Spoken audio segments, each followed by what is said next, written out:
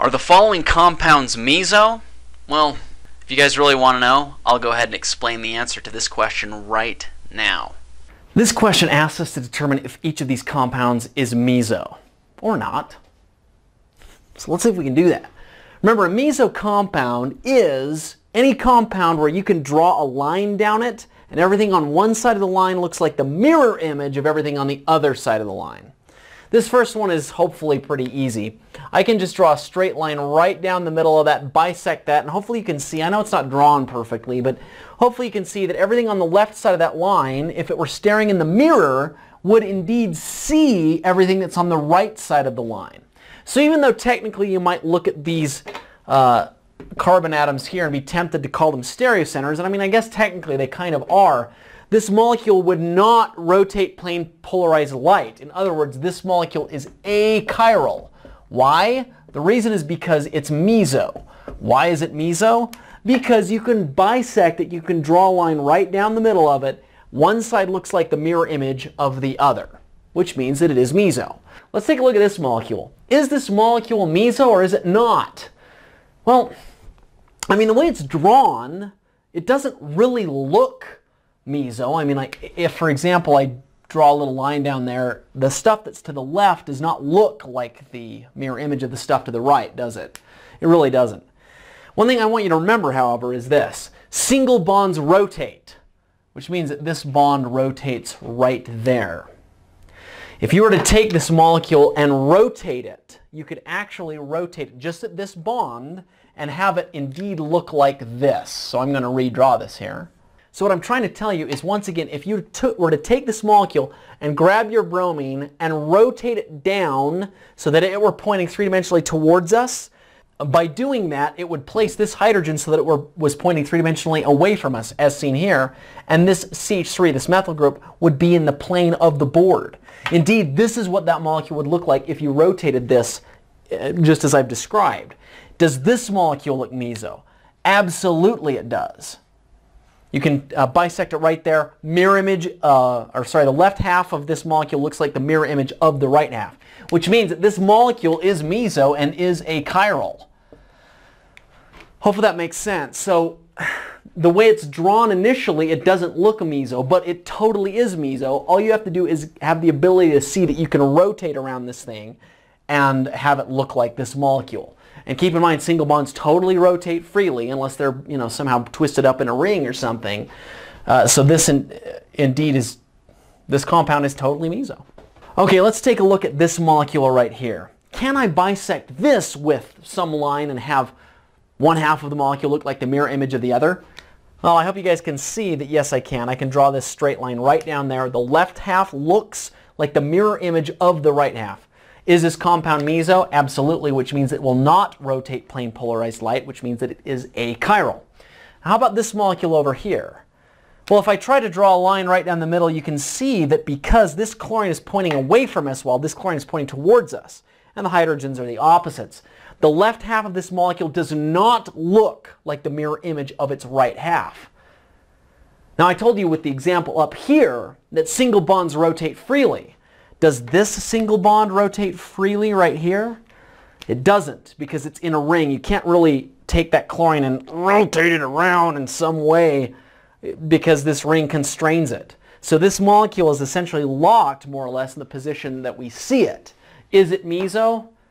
Well, the left half does not look like the image of the right half, so it is not meso, which means that it is chiral, which means that it will rotate plane polarized light. In this first question, we are asked which of the following options do not show optical activity. In the case of option A, a pure mixture of R2-pentanol, what that's talking about is basically a solution where you just have R2-pentanol. That is a molecule that possesses a stereocenter, and if it were sitting in that solution in pure form, it would absolutely give you an optical rotation. Similar logic can be applied to option B, S2-pentanol. In option C, we're talking about a solution of 1 molar R2-pentanol and 2 molar S2-pentanol mixed together. Those are two enantiomers of each other, but in this case, I've got more of one, that is a higher concentration of S2-pentanol than I have of the other. Because that's the case, the excess amount of S2-pentanol will induce an optical rotation. So A, B, and C are all optically active scenarios. What about option D? Well, option D is where I've got a complete 50-50 mixture of 2 molar R2-pentanol and 2 molar S2-pentanol. Because they're present in a totally 50-50 mixture, called a racemic mixture, any optical activity induced by one enantiomer is canceled out by the optical activity induced by the other enantiomer. Hence, option D will show no optical activity and is, therefore, the correct answer. Turning our attention over here to this question, it asks us how many stereoisomers there are for this molecule. The answer to that question is D, 16. If you want to know why, I'll explain it to you right now on the board. This question asks us to determine how many different stereoisomers we could possibly have for this molecule. Now before we get into that, I want to throw a much simpler example at you. Let's pretend that I've got a nice, neat carbon stereocenter that has four groups around it. One, two, three, four. It has one stereocenter. you can quickly and easily draw its an enantiomer. So how many different stereoisomers are there if you have one stereocenter? Well, I can have one to the left and I can have one to the right. So if I have one stereocenter, I can have two stereoisomers, two enantiomers. So I'll go ahead and write that down. One stereocenter equals two stereoisomers. Okay, let's imagine now that I've got a molecule that has two stereocenters. Okay, how many different stereoisomers could I have? Well, if you just look at one of these stereocenters and ignore the other one, I could have the, whatever configuration this is, if it's R, let's say, and I could have its opposite, S. So at this stereocenter, I could potentially have two different configurations. I could have an R or an S. What about at this stereocenter? Well, this stereocenter, I could say the exact same thing. I could potentially have that be R or S. So what that means is that this molecule could exist as an R there and an R there. It could also be its enantiomer. It could be an S there and an S there.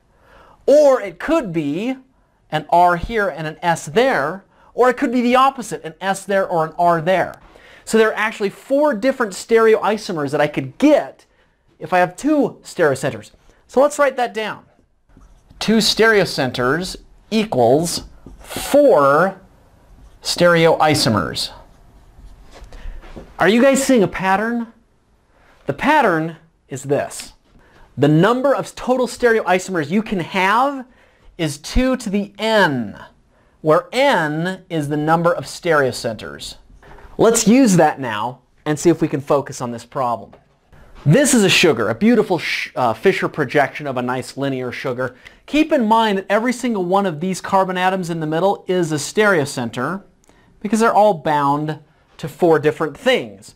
And uh, in a Fischer projection, of course, these little lines represent three-dimensionally those things are coming towards us while the stuff that's in the vertical axis is pointing three-dimensionally away from us. Those are totally stereocenters. Now, if you want to review a Fischer projection, I'll go ahead and post a link right here to an earlier lecture where I talk about that. So I've got one, two, three, four stereocenters. How many different stereoisomers could that possibly create or lead to? Remember this formula, 2 to the n. So I've got four different stereo centers. I put that up there. 2 to the fourth is 16. I could have 16 different stereoisomers of this molecule.